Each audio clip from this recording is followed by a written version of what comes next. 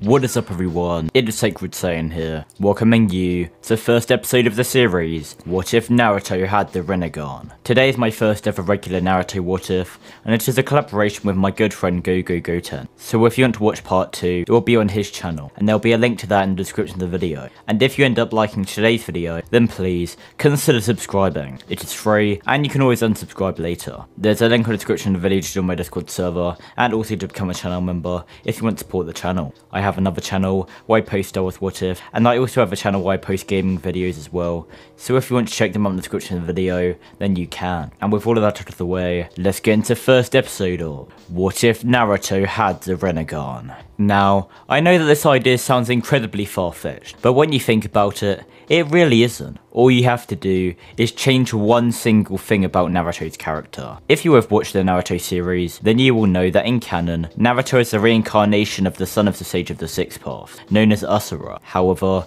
in this what if, there's just going to be a slight change. Instead of being the reincarnation of the son of the Sage of the Sixth Paths, we are instead going to make him the reincarnation of the Sage of the Six Paths, and this most minor change will make the most significant difference. This video begins at the moment of Naruto's birth. Kushina is holding her baby son, and Minato looks at him and is shocked as he sees his purple spiral eyes. He's only heard of two people ever having those eyes, the Sage of the Sixth Path, and a former student of his master Jiraiya. The medical ninja then begin to take Naruto away, and Minato is about to put the seal back on Kushina, but masked man then takes Naruto hostage in order to prevent this. However, when the masked man looks down at Naruto and sees his eyes, he is quickly surprised. These can't be the eyes of Madara, as these were already implanted in another child. How could this be? The man with the mask ignores this for now, throwing Naruto into the sky as he jumps up and is about to stab him with a kunai, but Minato saves his son, and from this point forward,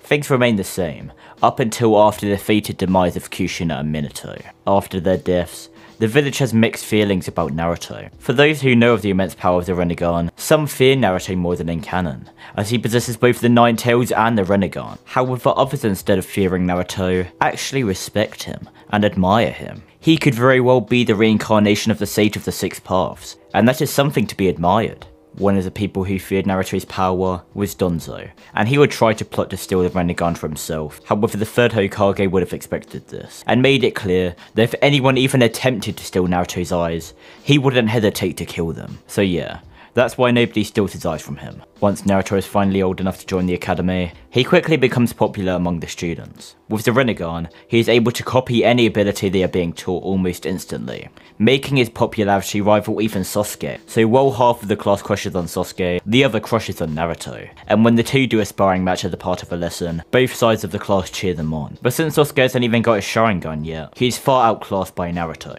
which greatly upsets Sasuke's side of the class. But even though Naruto does far outclass Sasuke, they do have some sort of friendly rivalry. They are the only people in their class that each other actually respect, and once Sasuke's clan is massacred, and Sasuke keeps to himself, Naruto is the only one who he seems to talk to.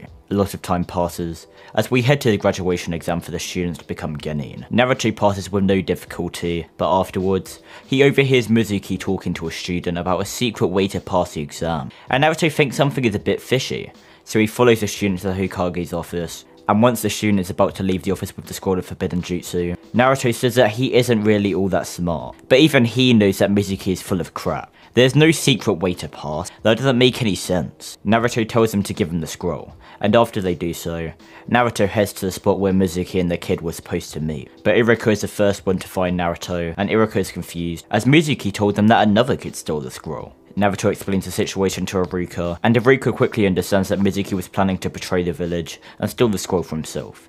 But after this discovery, Iruka feels a sharp pain in his back, as Mizuki stands on top of a tree branch after throwing a giant shuriken in Iruka's back. Naruto sees this, and he begins to hold his head, as his anger becomes out of control. Much like Nagato when his parents died, Naruto is letting his anger get the best of him, and for the first time, he uses an ability of the Rinnegan in his rage.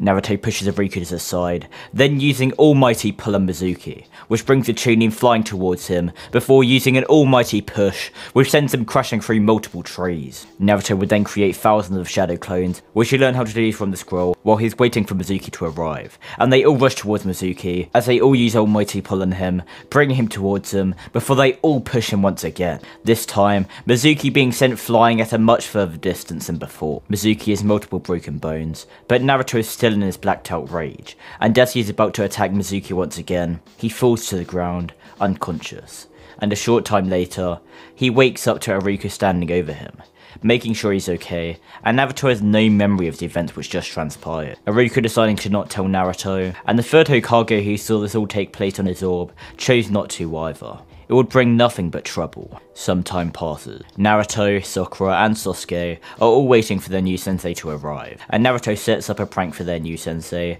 because he's taking so long, but both Sakura and Sasuke find this childish. Though Sasuke can't help but be slightly amused by it. They continue to wait for their new sensei, and Sakura begins to daydream as she thinks she is so lucky. She's with the two most popular boys in her school. She has to get with at least one of them, Preferably Sasuke, but she wouldn't mind being with Naruto either. Naruto here does still have his crush on Sakura liking canon, however certainly not to the same extent as normal, since he has had a lot of girls liking him, so even if Sakura says no to him, Naruto thinks he has plenty of other options.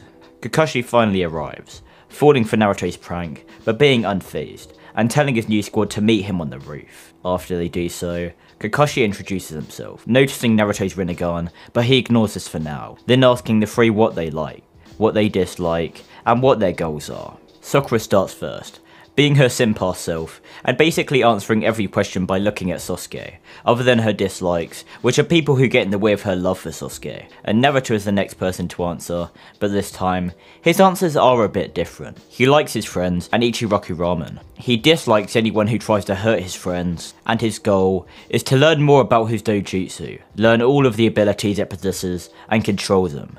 Not only that, but he wants to use that power to become the Hokage. Sasuke is lost, and his answer this time is slightly different. His likes and dislikes are the same, but for his goal, it is still to restore the Uchiha clan and kill a certain person, but he also wants to surpass another certain person.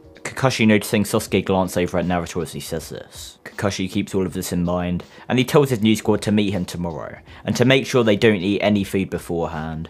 And confused but slightly worried, they all decide to listen. So a day later, all of Squad 7 arrive, as they begin to wait for Kakashi. And this is where we're going to end off the first part. Hopefully you guys enjoyed this video, and if you did, then make sure to like, comment, and please do subscribe. It is quick and easy to do. Also, I want to give a huge thank you to Yeti Myth, Cam McPherson, Mega Exo, Mystic Angel, Jonathan Way, Neo Whitcomb, and Allmight for becoming channel members. If you want to be shouted out at the end of a video, and get other perks like the channel members here, then there is a link in the description down below to become a channel member. It greatly supports me, and it helps me immensely. With all of that out of the way, hope to see you all in the next episode of What If Naruto Had the Rinnegan?